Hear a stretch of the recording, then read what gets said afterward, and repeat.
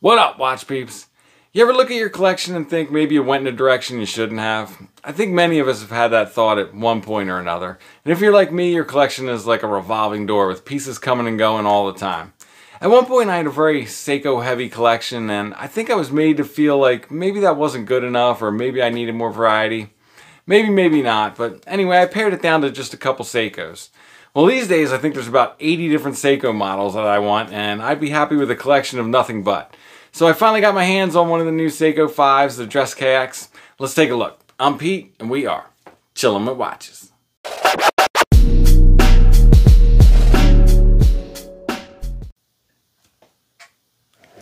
Wrist check.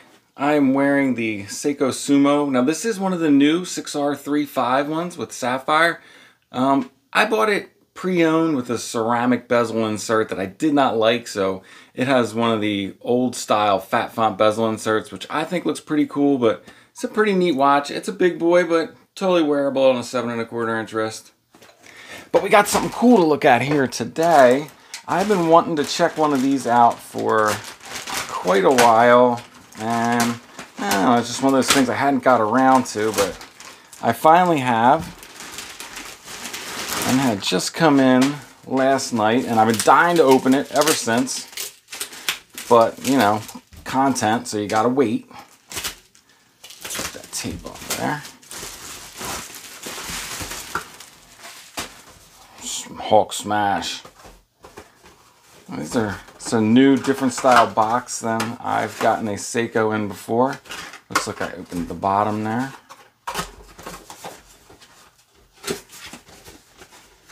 Now this has come all the way from the United Arab Emirates. Uh, I will explain why there in a minute.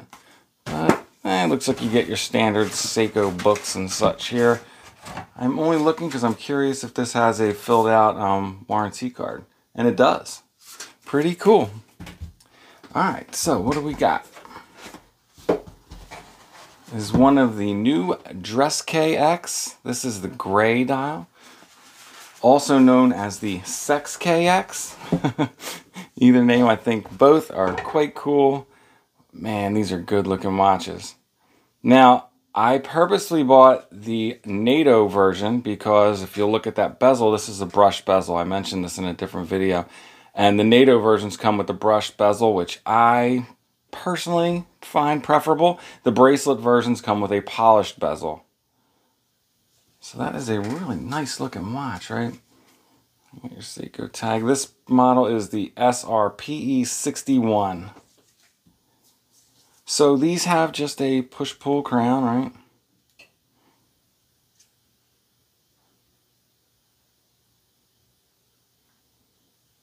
Very nice. Looks like it has the um, I forget what you call that day wheel. I'm drawing a blank, but that's a pretty cool one.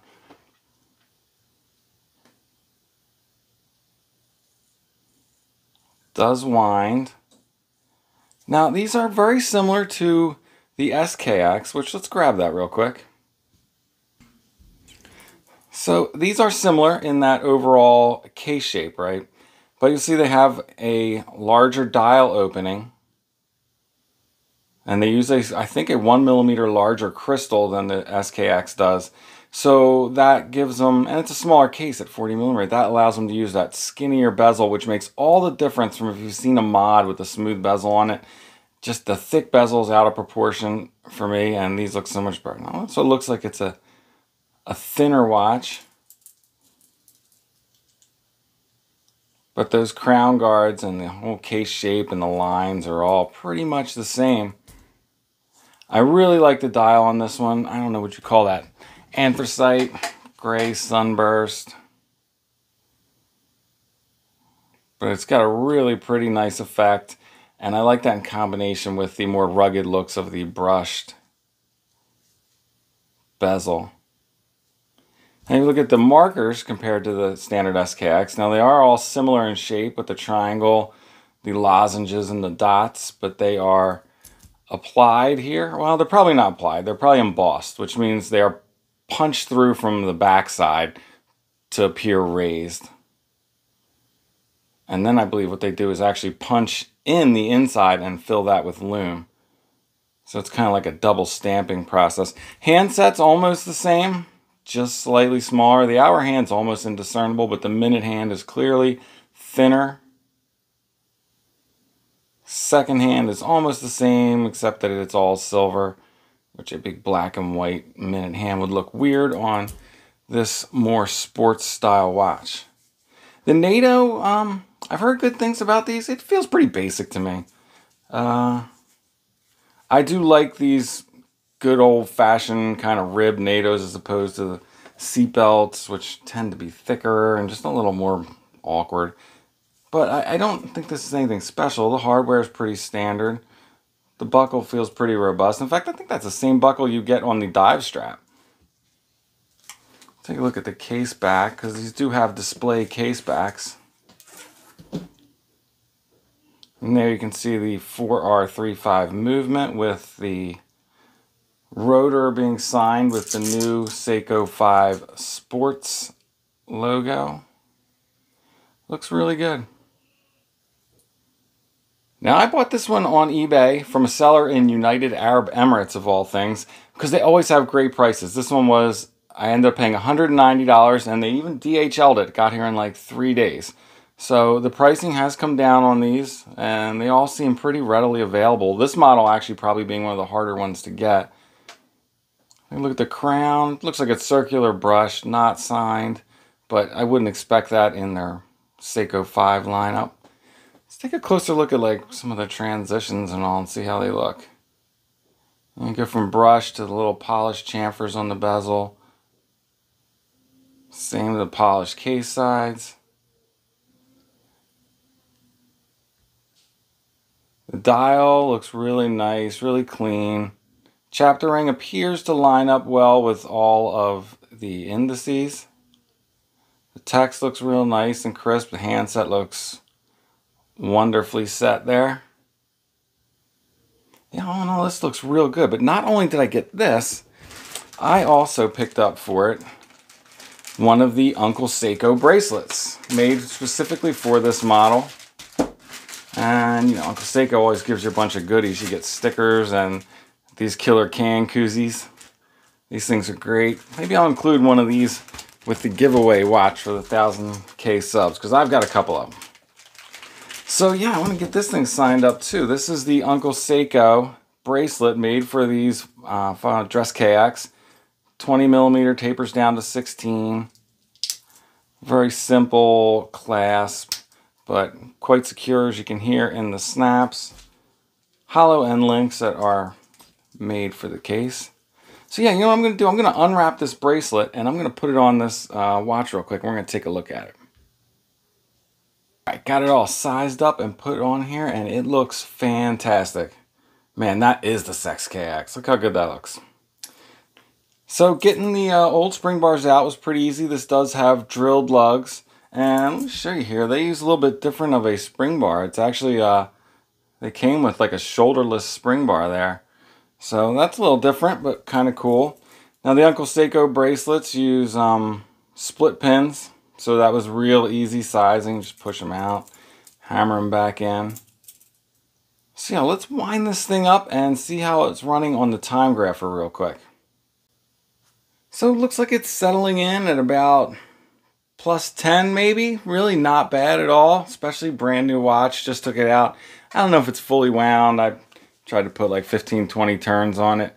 But the amplitude's great for Seiko. Beat errors almost nothing. Real clean trace. Be curious to see if it runs much better on wrist, but from being honest, I'm never going to check that. So perfectly happy with the way this guy's running. Going over the dimensions, these have, as I said, a 40 millimeter case.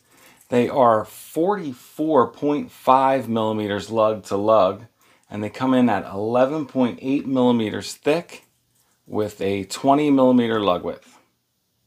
Now going over some of the other specs, these ones do have a Hardlex crystal, and they're running the Seiko 4R36 movement, which does have hacking and hand winding.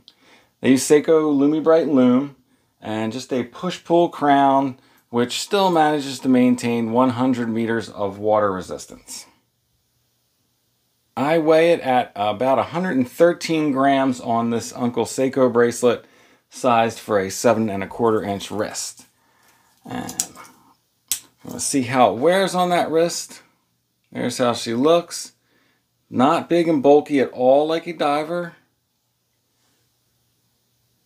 I think this wears much better than an SKX actually.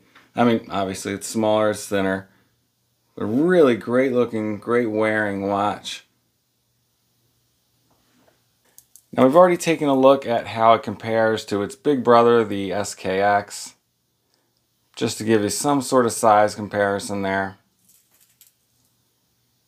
But something more appropriate to compare it to, how about the Nodus Sector field case at 38 millimeters? You can see it does look a little bigger to me than the uh, than the Nodus. Looks a little thinner as well.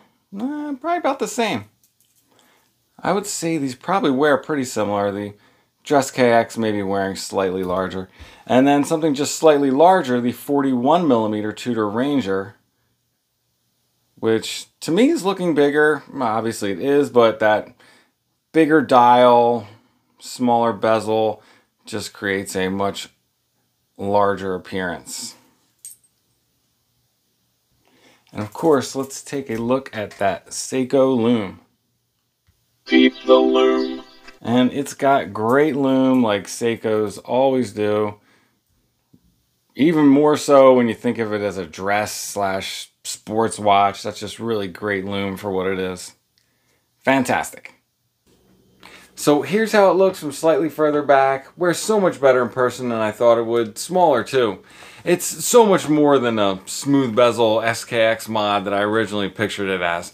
I think the Uncle Seiko bracelet makes a big difference too. Let me know what you guys think. Share your thoughts in the comments. Before I let you go, sneaker check. Just wearing my new Vans, Anderson .Paak collab. What's up? All right, that's it. I'm out. If it's not too much trouble, like, subscribe, and come back next time. Peace.